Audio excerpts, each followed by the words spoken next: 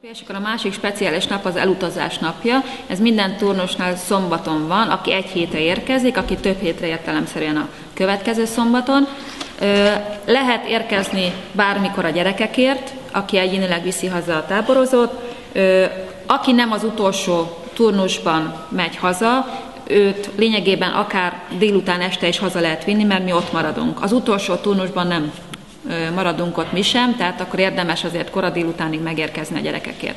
Aki a busszal megy vissza, Kecskemétről 10 órakor indul vissza a közös busz, és ugyanoda érkezik a Lurdi házhoz. Ez hát visszafelé elég gyorsan szoktak menni, tehát egy, azért két óra nincs az út, de mondjuk egy, másfél óra az út Kecskemétről. Összesen 85 kilométerről van szó, tehát tényleg nem sok, nem nagy távolság.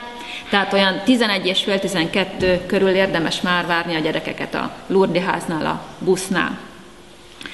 Az utolsó napon van még reggeli, és aki ott marad, tehát aki csak délután jönnek, természetesen mm, ő is kap ellátást, meg felügyeletet, tehát ezért nem, nincs az, hogy akkor bezárjuk reggel a tábort, és nincs tovább.